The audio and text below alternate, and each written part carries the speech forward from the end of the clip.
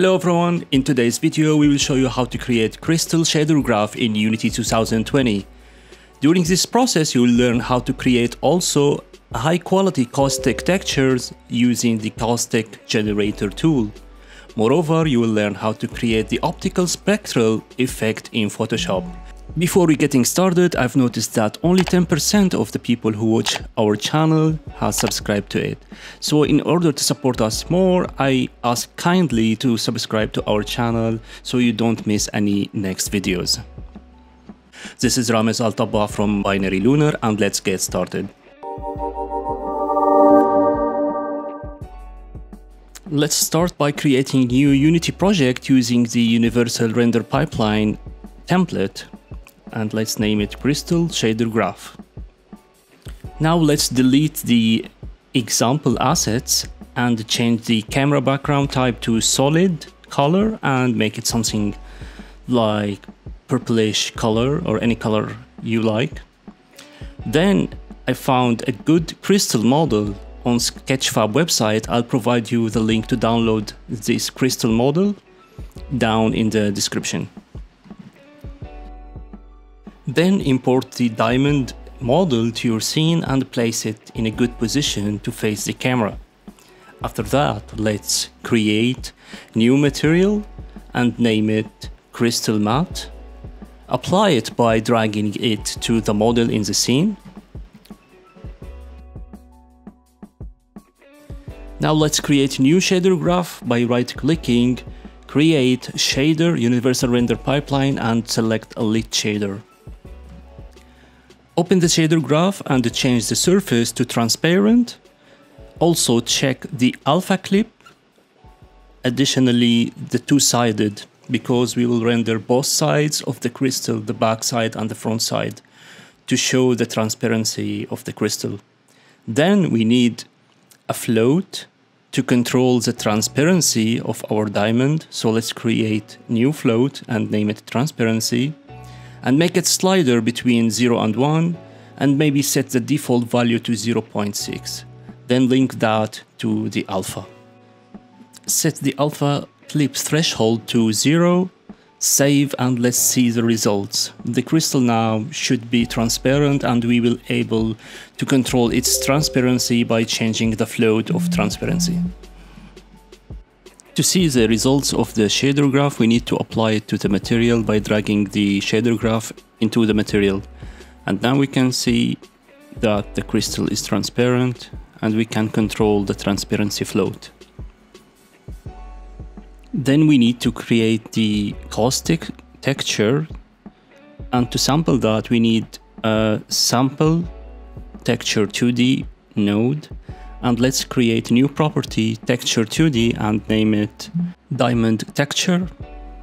Then to create a high resolution caustic texture, we simply need the caustic generator tool.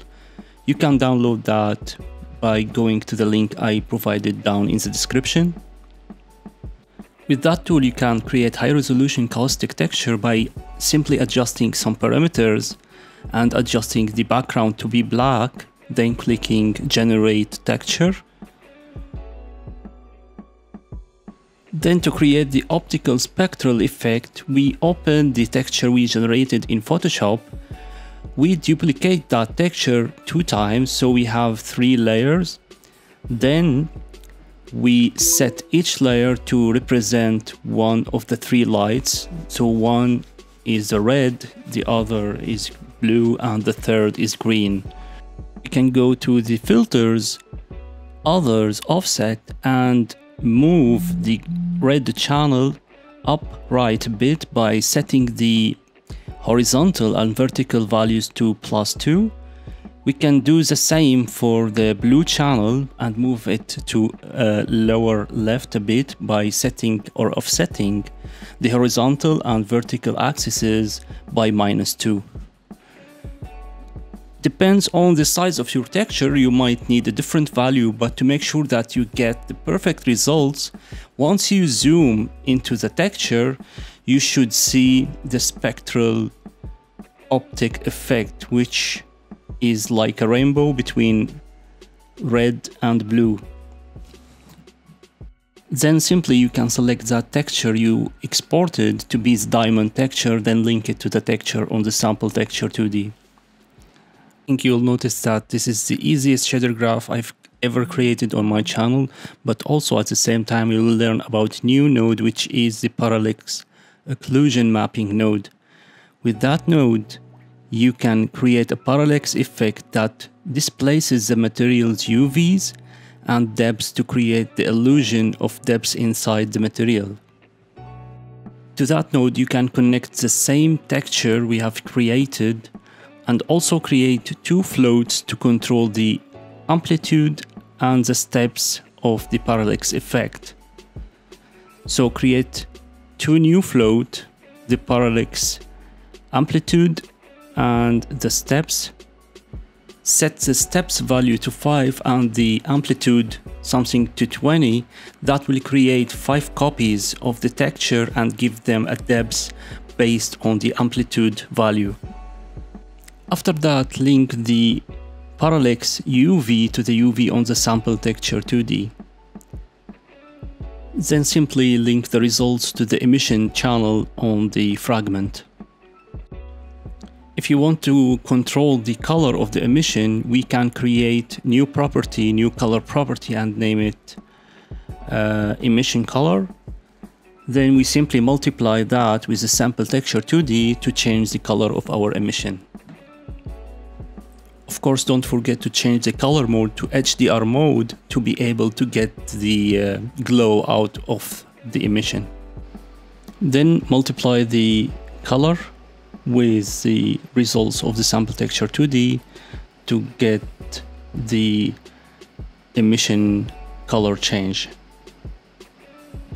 Those were the basic nodes to create our shader, but you can add more properties to be changed like the color of the uh, material itself, the color of the crystal or the diamond. Also you can control the smoothness and metallic by creating two new floats and naming them smoothness and metallic, setting them as sliders between 0 and 1 and set the values something like 0.6 or 0.8. Save the shader graph and go back to the scene. Now you can create an eye-catchy effect using the parameters we have created. So keep experimenting and adjusting with the values that we have creating to reach something uh, attractive and looks nice. And that's it for today's video. I hope you enjoyed watching and looking forward to see this technique in your video games. If you found this video useful, don't forget to hit like, subscribe and the notification bell so you don't miss the next ones. We really appreciate the generous continuous support on Patreon which keep encouraging us to publish more quality contents. So thanks for everyone who supported us on Patreon.